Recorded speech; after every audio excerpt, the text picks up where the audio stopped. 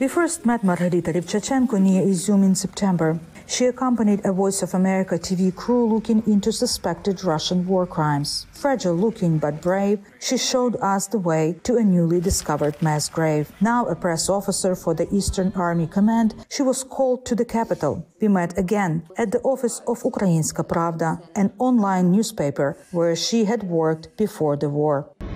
When the Russians marched on Kiev in February 2022, Rybchachenko's father signed up for the military and so did her boyfriend. She decided to do the same, enrolling in the territorial defense. I think that uh, if I had a gun, I I would do something more for my for my life.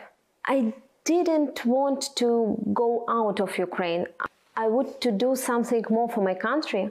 She says the hardest thing about the war is to learn about the death of her comrades. I'm, I'm not scared to, to go back to Donetsk region uh, and to go to the position just because I feel really comfortable with uh, my guys. But uh, it's really hard to, to think about my people, my friends, my father who now in Bakhmut, uh, my boyfriend who are serving too. So mm, it's it's not hard to serve. It's really hard to um, to wait from someone from the front. Former TV reporter Anastasia Blishchik also enrolled in the armed forces of Ukraine. A native of Kherson, she says that for three years she wanted to join the army but hesitated. That changed when the Russian launched a full-scale offensive, walking along Mikhailivska Square in Kiev next to the wrecked Russian armed vehicles on display. She remembers that decisive moment. On February 24th, I took my fiance, a journalist, a soldier of the 95th Air Assault Brigade, Alexander Makhov, to the military commissariat. On February 25th, he called me and said, How are you? I said that I would sign up for the military, and he supported my decision.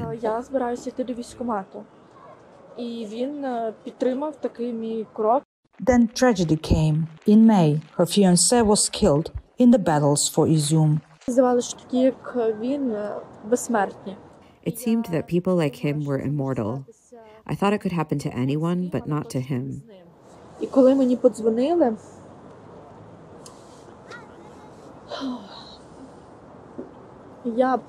And when I got the call, I didn't want anyone to hear what I heard.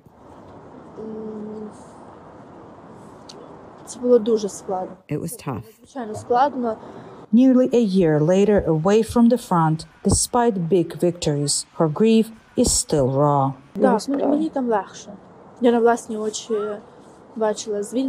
It's easier for me there.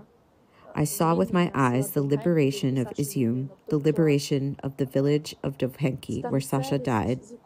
Izium and Dovhenki are ours, but it doesn't make me feel any better.